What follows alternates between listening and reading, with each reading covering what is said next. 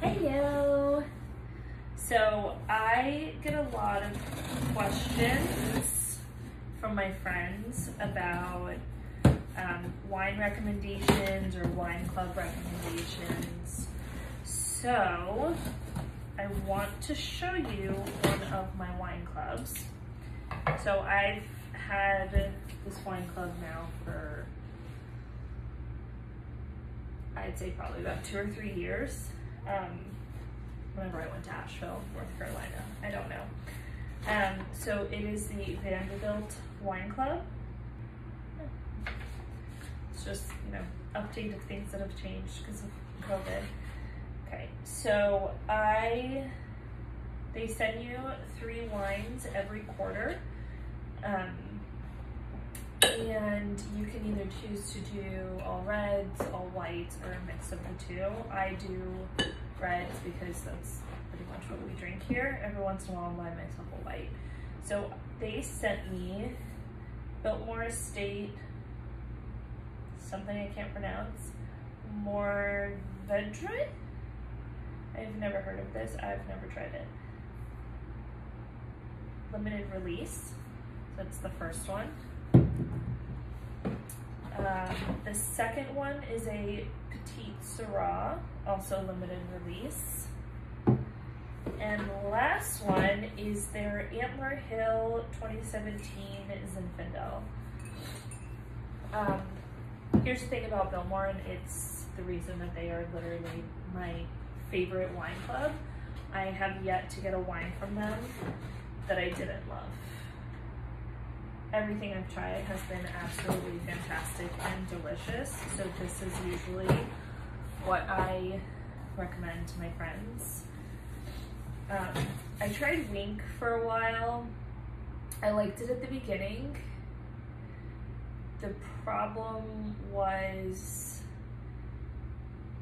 the wines kind of got repeated a lot, which I didn't like. So the first few shipments I got, I really liked. I liked that it was a monthly um, wine club because then I got to try different wines every month, and I think that one was also three bottles.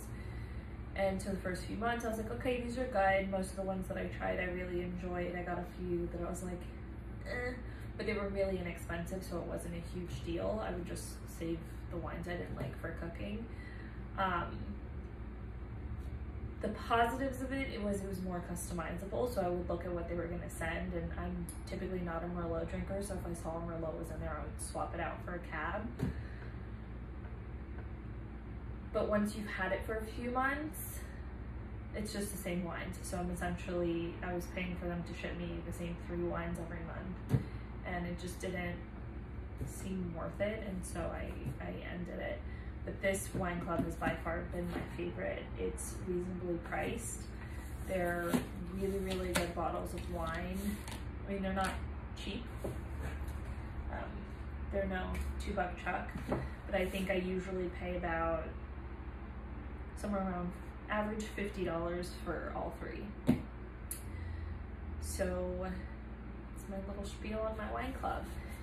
If you want just some regular wines to keep on rotation in your house, I can show you what we typically buy.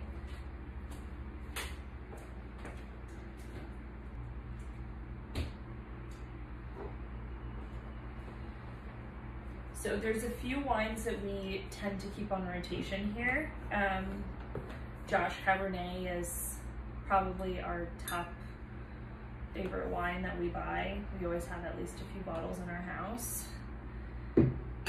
J. Lohr is also really good, and also a Cabernet. Any of the wines that we keep on rotation regularly are Cabernets because that's our favorite. We also do Dreaming Tree Cabernet, which is very reasonably priced. Uh, Carnivore Cabernet, and if you want to get a little bit fancier, you can do Justin Cabernet, but all really, really good wines. Um, if you are more into sweet wines, I'm not the person to ask. I don't drink sweet wine. I drink reds mostly, once in a while. I like a good Sauvignon Blanc. And dry. So that's what I look for in my wines, which is why a Cabernet is usually our go-to.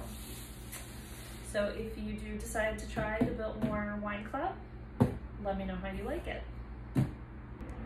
So I did just look up my receipt from the Vanderbilt Wine Club and I was way my receipt for this quarter was $80 for the wine and then the shipping which was 15 so I don't know where I got 50 from.